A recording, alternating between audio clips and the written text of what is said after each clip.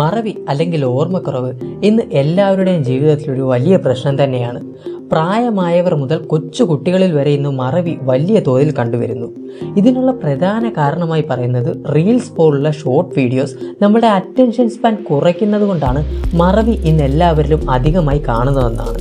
ഇതിനെന്തെങ്കിലും പരിഹാരമുണ്ടോ എന്ന് ചോദിച്ചാൽ മരുന്നും മന്ത്രവും ഒന്നും കൊണ്ട് മറവി മാറ്റാൻ പറ്റില്ല. പക്ഷേ ചില ബ്രെയിൻ എക്സസൈസുകളിലൂടെ നമ്മുടെ മറവിയെ കൺട്രോൾ ചെയ്യാനും ഓർമ്മശക്തി വീണ്ടെടുക്കാനും സാധിക്കും.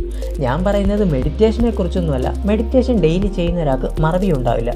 ഞാൻ പറയുന്നത് ന്യൂറോബിക് എക്സസൈസുകളെ കുറിച്ചാണ് ഇനി എന്താണ് ന്യൂറോബിക് എക്സസൈസുകൾ എന്ന് അറിയാത്തവർക്ക് വേണ്ടി ഞാൻ പറഞ്ഞുതരാം. നമ്മുടെ ബ്രെയിനിന് പരിചിതമല്ലാത്ത കുറച്ച് ടാസ്ക് അല്ലെങ്കിൽ ആക്ടിവിറ്റീസ് കൊടുത്ത് നമ്മുടെ ബ്രെയിനിലെ ന്യൂറോൺസിനെ കൂടുതൽ ആക്റ്റീവ് ആക്കുകയും പുതിയ ന്യൂറോൺസിനെ ക്രിയേറ്റ് ചെയ്യിക്കുകയും ചെയ്യുന്ന രീതിയിലുള്ള കുറച്ച് എക്സസൈസുകളെയാണ് ന്യൂറോബിക് എക്സസൈസുകൾ എന്ന് പറയുന്നത്.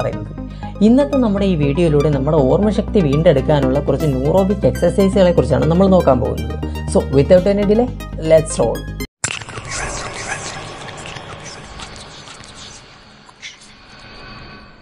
number one multi coloured text നിങ്ങളുടെ ബ്രെയിന് എത്രത്തോളം കോൺസെൻട്രേഷൻ ഉണ്ടെന്ന് അറിയാൻ പറ്റുന്ന ഒരു എക്സസൈസ് ആണ് മൾട്ടി കളേർഡ് ടെക്സ്റ്റ് സ്ക്രീനിൽ കുറേ വേർഡ്സ് പല കളറിലായി എഴുതി കാണിക്കും. നിങ്ങൾ ചെയ്യേണ്ടത് ഈ വേർഡ്സിന്റെ എല്ലാം കളർ ഏതാണെന്ന് പറയുക എന്നത് മാത്രമാണ്. ഇത് കേൾക്കാൻ വളരെ സിമ്പിളായിട്ട് തോന്നുമെങ്കിലും അത്രത്തോളം സിമ്പിളായിട്ടുള്ള ഒരു കാര്യമല്ല. ഫോർ എക്സാമ്പിൾ ഞാനിവിടെ യെല്ലോ എന്ന് ബ്ലൂ കളറിലാണ് എഴുതിയിരിക്കുന്നത്. അപ്പോൾ നിങ്ങളിവിടെ പറയേണ്ടത് യെല്ലോ എന്ന വേഡല്ല ആ വേഡ് ഏത് കളറിലാണോ എഴുതിയിരിക്കുന്നത് ആ കളറിന്റെ പേരാണ്. അതായത് ബ്ലൂ എന്ന്. അപ്പോൾ എല്ലാവർക്കും ഇത് മനസ്സിലായെന്ന് വിചാരിക്കുന്നു. ആൻഡ് മാക്സിമം എല്ലാവരും കളേഴ്സിന്റെ പേര് ഇംഗ്ലീഷിൽ തന്നെ പറയാൻ ശ്രമിക്കുക. സോ ലെറ്റ് സ്റ്റാർട്ട്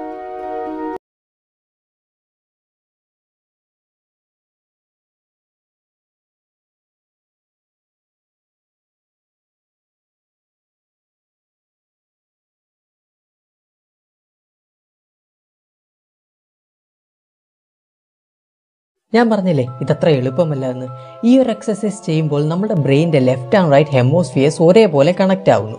കാരണം ടെക്സ്റ്റും കളറും നമ്മുടെ ബ്രെയിന്റെ രണ്ട് ഭാഗങ്ങളായിട്ടാണ് സ്റ്റോർ ആവുന്നത്. ഈ ഒരു എക്സസൈസ് ഡെയിലി ചെയ്യുന്നത് കൊണ്ട് തന്നെ നിങ്ങൾക്ക് അൾഷിമേഴ്സ് പോലുള്ള രോഗങ്ങൾ വരാനുള്ള സാധ്യത കുറയുകയും നിങ്ങളുടെ ബ്രെയിന്റെ ഫോക്കസ് വർദ്ധിക്കുകയും ഒരേ സമയം രണ്ട് ടാസ്കിലേക്ക് സ്വിച്ച് ചെയ്യാനുള്ള നിങ്ങളുടെ ബ്രെയിന്റെ കപ്പാസിറ്റി വർദ്ധിക്കുകയും ചെയ്യുന്നു. നമ്പർ ടു ഷെൽറ്റ് ടേബിൾ നിങ്ങളുടെ സ്ക്രീനിൽ കാണുന്ന ഈ ഒരു ടേബിൾ കണ്ടോ?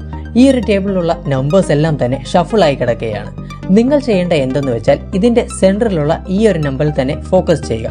എന്നിട്ട് ഞാൻ സ്റ്റാർട്ട് എന്ന് പറയുമ്പോൾ അസെൻഡിങ് ഓർഡറിൽ അതായത് വൺ ടു ത്രീ എന്ന ഓർഡറിൽ നിങ്ങളുടെ കണ്ണുകൾ കൊണ്ട് ഈ നമ്പേഴ്സിനെ എല്ലാം ട്രാക്ക് ചെയ്യുക. അതും മുപ്പത് സെക്കൻഡിനുള്ളിൽ ഞാൻ പറഞ്ഞത് എല്ലാവർക്കും മനസ്സിലായെന്ന് വിചാരിക്കുന്നു. സോ എല്ലാവരും റെഡി അല്ലേ?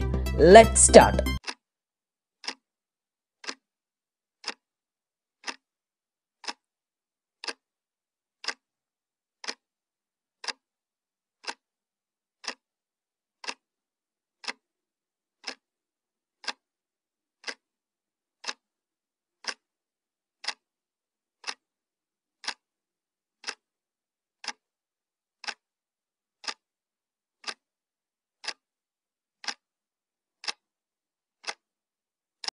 നിങ്ങൾ എല്ലാ നമ്പേഴ്സും മുപ്പത് സെക്കൻഡിനുള്ളിൽ തന്നെ കണ്ടുപിടിച്ചെന്ന് ഞാൻ പ്രതീക്ഷിക്കുന്നു. കണ്ടുപിടിച്ചിട്ടുണ്ടെങ്കിൽ കൺഗ്രാറ്റുലേഷൻസ് ഇനിയിപ്പോൾ കണ്ടുപിടിച്ചിട്ടില്ലെങ്കിലും കുഴപ്പമൊന്നുമില്ല. നമുക്ക് അടുത്ത പ്രാവശ്യം ശരിയാക്കാം. ഇങ്ങനെ ഡെയിലി ചെയ്യുന്നത് കൊണ്ട് നിങ്ങളുടെ ബ്രെയിനിന്റെ ഇൻഫർമേഷൻസ് പ്രോസസ്സ് ചെയ്യാനുള്ള സ്പീഡ് വർദ്ധിക്കുന്നു. ഷെൽറ്റ് ടേബിൾസ് ഒരുപാട് നിങ്ങൾക്ക് ഓൺലൈനിൽ അവൈലബിൾ ആണ്. അവിടുന്ന് നിങ്ങൾക്ക് ഡെയിലി ഇത് പ്രാക്ടീസ് ചെയ്യാവുന്നതാണ്. Number three blind Ford exercise ഈ ഒരു എക്സസൈസ് ഡെയിലി പ്രാക്ടീസ് ചെയ്ത് കഴിഞ്ഞാൽ നിങ്ങളുടെ മസിൽ മെമ്മറി വളരെയധികം വർദ്ധിക്കുന്നതായിരിക്കും. മസിൽ മെമ്മറി വർദ്ധിക്കുന്നത് കൊണ്ടുള്ള ഒരു ഗുണമെന്ന് വെച്ചാൽ നിങ്ങൾ പഠിക്കുന്ന ഏതൊരു കാര്യവും നിങ്ങൾക്ക് പെട്ടെന്ന് ഓർത്തെടുക്കാൻ സാധിക്കും. ഈ ഒരു എക്സസൈസ് ചെയ്യാനും വളരെയധികം സിമ്പിളാണ് നിങ്ങൾ ചെയ്യേണ്ടത് കണ്ണടച്ചുകൊണ്ട് ചെറിയ ചെറിയ കാര്യങ്ങൾ ചെയ്യാൻ ശ്രമിക്കുക. ഒന്ന് ഓർക്കുക ചെറിയ ചെറിയ കാര്യങ്ങൾ മാത്രം ചെയ്യാൻ ശ്രമിക്കുക. ഓർമ്മശക്തി കൂട്ടാനെന്നും പറഞ്ഞ് ഞാൻ പറയുന്നത് കേട്ടുണ്ട് കണ്ണടച്ച് കാറോ ബൈക്കോ വല്ലോ ഓടിച്ച് എവിടെയെങ്കിലും മറിഞ്ഞു വീണ് കഴിഞ്ഞാൽ എന്നെ കുറ്റം പറയില്ലേ അതുകൊണ്ട് ചെറിയ ചെറിയ കാര്യങ്ങൾ മാത്രം ചെയ്യുക. ലൈക്ക് നിങ്ങൾ കണ്ണടച്ചുകൊണ്ട് എന്തെങ്കിലും എഴുതാൻ ശ്രമിക്കുക. അല്ലെങ്കിൽ കണ്ണടച്ചുകൊണ്ട് പടം വരയ്ക്കാൻ ശ്രമിക്കുക. അല്ലെങ്കിൽ ഏതെങ്കിലും ഷേപ്സ് വരയ്ക്കാൻ ശ്രമിക്കുക. Like circle star heart triangle ഇതേപോലുള്ള എന്തെങ്കിലും എഴുതുകയോ വരയ്ക്കുകയോ ചെയ്യുക. അതുമല്ലെങ്കിൽ നിങ്ങൾ കണ്ണടച്ചുകൊണ്ട് ഫോണിലോ ലാപ്ടോപ്പിലോ നിങ്ങളുടെ പേരോ അല്ലെങ്കിൽ മറ്റെന്തെങ്കിലോ ടൈപ്പ് ചെയ്യാൻ നോക്കുക. ഇനി വേണമെങ്കിൽ നിങ്ങൾ കമന്റ് ബോക്സിൽ വന്നിട്ട് കണ്ണടച്ചുകൊണ്ട് നിങ്ങളുടെ പേരിന്ന് ടൈപ്പ് ചെയ്ത് നോക്കെ.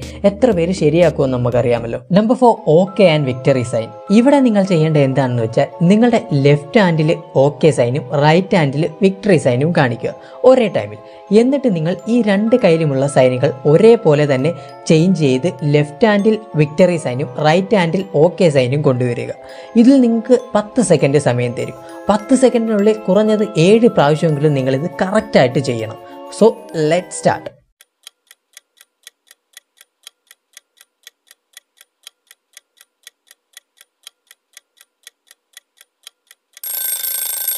ഇത് വളരെ പ്രയാസമാണെന്ന് എനിക്കറിയാം. ബട്ട് ഇത് ഡെയിലി പ്രാക്ടീസ് ചെയ്താൽ മതി. നിങ്ങൾ ഇതിൽ ഓക്കെ ആവും. ആൻഡ് ഇത് ഡെയിലി പ്രാക്ടീസ് ചെയ്യുന്നത് കൊണ്ട് തന്നെ നിങ്ങളുടെ മൾട്ടി ടാസ്കിങ് സ്കില്ലും നിങ്ങളുടെ ഫോക്കസും വളരെയധികം വർദ്ധിക്കുന്നതായിരിക്കും. Number five make a circle and a triangle brain muscles increase ചെയ്യാൻ ഏറ്റവും നല്ലൊരു എക്സസൈസ് ആണ് ഇത്. നമ്മളെല്ലാവരും ഒരുപക്ഷെ കുട്ടിക്കാലത്ത് ഇത് ട്രൈ ചെയ്തിട്ടും ഉണ്ടായിരിക്കും. സംഭവം സിമ്പിളാണ് നിങ്ങളുടെ ഏതെങ്കിലും ഒരു കൈ കൊണ്ട് ഒരു സർക്കിളും മറ്റേ കൈ കൊണ്ട് ട്രയാങ്കിളും വരയ്ക്കുക. ഫോർ എക്സാമ്പിൾ നിങ്ങളുടെ ലെഫ്റ്റ് ഹാൻഡ് കൊണ്ട് ഒരു സർക്കിളും റൈറ്റ് ഹാൻഡ് കൊണ്ട് ഒരു ട്രയാങ്കിളും വരയ്ക്കുക.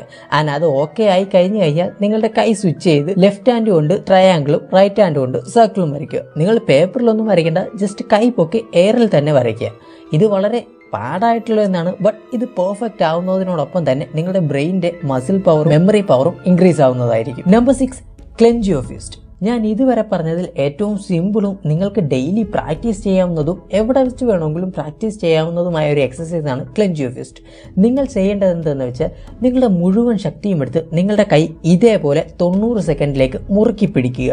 ഇങ്ങനെ നിങ്ങൾ ചെയ്യുന്നത് കൊണ്ട് തന്നെ നിങ്ങളുടെ മെമ്മറി റീകാളബിലിറ്റി നിങ്ങളുടെ memory formation ability വർദ്ധിക്കുന്നതായിരിക്കും.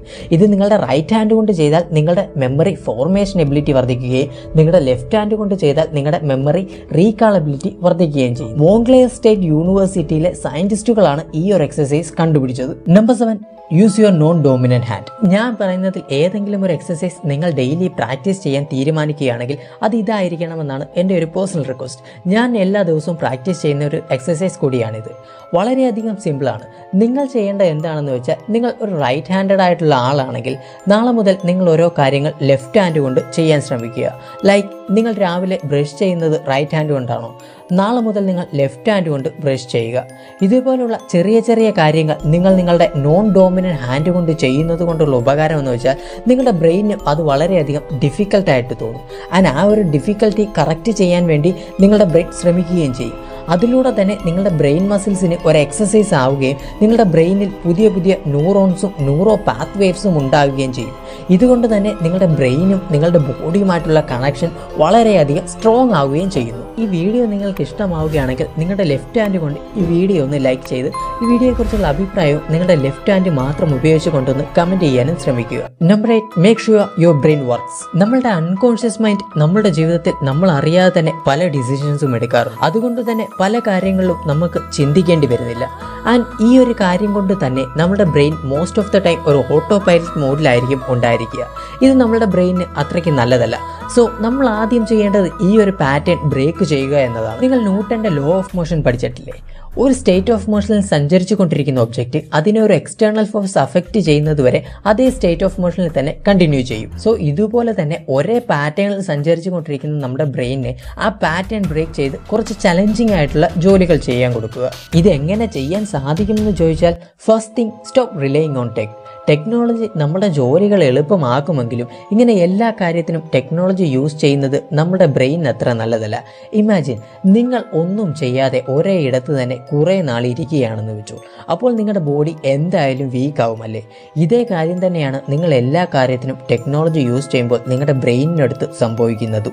For example നിങ്ങൾക്ക് എന്തെങ്കിലും കണക്ക് കൂട്ടണമെന്നുണ്ടെങ്കിൽ ഉടനെ തന്നെ ഫോണിലെ കാൽക്കുലേറ്റർ ഓണാക്കാതെ ആ നമ്പേഴ്സ് എല്ലാം നിങ്ങളുടെ ബ്രെയിനിൽ തന്നെ ആഡ് ചെയ്യാൻ ശ്രമിക്കുക. ഏതെങ്കിലും വേർഡിന്റെ സ്പെല്ലിംഗ് മറന്നുപോയാൽ ഗൂഗിൾ ചെയ്യാതെ കുറച്ച് ടൈം എടുത്ത് അതൊന്ന് ചിന്തിക്കാൻ ശ്രമിക്കുക. നിങ്ങളുടെ ഫ്രണ്ട്സിന്റെയോ ഫാമിലി മെമ്പേഴ്സിന്റെയോ ഫോൺ നമ്പേഴ്സ് ഓർത്തു വെക്കാൻ ശ്രമിക്കുക. ഇങ്ങനെയൊക്കെ ചെയ്യുന്നത് കൊണ്ട് നിങ്ങളുടെ മെമ്മറി പവർ ഇൻക്രീസ് ചെയ്യുക തന്നെ ചെയ്യും. അതിനോടൊപ്പം അത്യാവശ്യ ഘട്ടങ്ങളിൽ സഹായകരവുമാവും. Second thing memorise your list of things നിങ്ങൾക്ക് ആവശ്യമുള്ള സാധനങ്ങളെ ലിസ്റ്റ് ഉണ്ടാക്കി ഫോണിലോ പേപ്പറിലോ സൂക്ഷിക്കുന്നത് കൊണ്ട് നിങ്ങളുടെ മെമ്മറി പവർ ഇൻക്രീസ് ആവില്ല. മറിച്ച് നിങ്ങൾക്ക് ആവശ്യമുള്ള സമയത്ത് ആ ലിസ്റ്റ് നോക്കാതെ ഒന്ന് ഓർത്തെടുക്കാൻ ശ്രമിക്കുക. അതിപ്പോൾ നിങ്ങൾക്ക് വാങ്ങാനുള്ള ഗ്രോസറി സാധനങ്ങളുടെ ലിസ്റ്റ് ആയാലും അതല്ല നിങ്ങളുടെ ഡെയിലി സ്കെഡ്യൂൾ ലിസ്റ്റ് ആയാലും ആദ്യം നിങ്ങളതൊന്ന് ഓർത്തെടുക്കാൻ ശ്രമിക്കുക. ഓർമ്മ വരുന്നില്ല എങ്കിൽ മാത്രം ആ ലിസ്റ്റ് എടുത്ത് നോക്കുക. ഇങ്ങനെ ചെയ്യുന്നത് കൊണ്ട് തന്നെ നിങ്ങളുടെ ബ്രെയിൻ മസിൽസ് ആൻഡ് സെൽസ് എപ്പോഴും ആക്റ്റീവ് ആയിരിക്കുന്നു. And the third thing expand your imagination ഇന്നത്തെ കാലത്ത് എല്ലാവരും നേരിടുന്ന ഒരു പ്രോബ്ലമാണ്. നമ്മൾ എല്ലാവരും തന്നെ ഡിജിറ്റൽ അല്ലെങ്കിൽ വിഷ്വൽ കാര്യങ്ങൾ like T V laptop phone പോലുള്ളവ നോക്കി നമ്മുടെ ബ്രെയിനിനെ എപ്പോഴും ഒരു സഡേറ്റീവ് മൂഡിലായിരിക്കും വെച്ചിരിക്കുക. ഇതുകൊണ്ട് തന്നെ നമ്മൾക്ക് എന്തെങ്കിലും ഇമാജിൻ ചെയ്യാനോ വിഷ്വലൈസ് ചെയ്യാനോ സാധിക്കില്ല. എല്ലാം തന്നെ ഫോണിൽ കാണുന്നത് കൊണ്ട് നമ്മുടെ ബ്രെയിനിന്റെ ഇമാജിനേഷൻ പവറും ബ്ലോക്ക് ആയിരിക്കും. ഇതുകൊണ്ട് തന്നെ നമ്മുടെ ചിന്താശേഷിയും വളരെയധികം കുറഞ്ഞു വരുന്നു. ന്യൂറോ പ്ലാസ്റ്റിസിറ്റി റിസർച്ചിലൂടെ തെളിഞ്ഞത് നമ്മുടെ അഞ്ച് സെൻസുകളും നമ്മുടെ ബോഡി ആൻഡ് കൊഗ്നേറ്റീവ് ഫംഗ്ഷനുമായിട്ട് ഡയറക്റ്റ്ലി കണക്റ്റഡ് ആയിരിക്കും. ഞാൻ ഇനി പറയാൻ പോകുന്ന ഈ ഒരു എക്സസൈസ് നിങ്ങൾ ഡെയിലി പ്രാക്ടീസ് ചെയ്യുകയാണെങ്കിൽ നിങ്ങളുടെ അഞ്ച് സെൻസുകളെയും ട്രിഗർ ചെയ്ത് നിങ്ങളുടെ ഐ ക്യു ഇൻക്രീസ് ചെയ്യാൻ നിങ്ങളെ സഹായിക്കും. നിങ്ങൾ ചെയ്യേണ്ട എന്താണെന്ന് വെച്ചാൽ സ്വപ്നം കാണുക.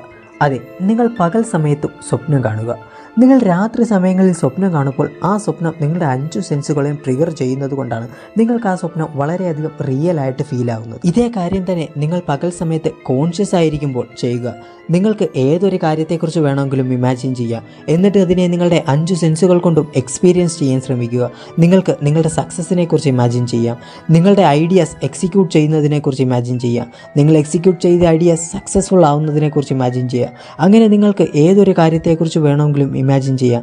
നിങ്ങൾ ഇമാജിൻ ചെയ്ത കാര്യങ്ങളെ നിങ്ങൾ ഫീൽ ചെയ്യാൻ ശ്രമിക്കുക. അതിനെ സെൻസ് ചെയ്യാൻ ശ്രമിക്കുക. നിങ്ങൾ അതിനെ എക്സ്പീരിയൻസ് ചെയ്യാൻ ശ്രമിക്കുക.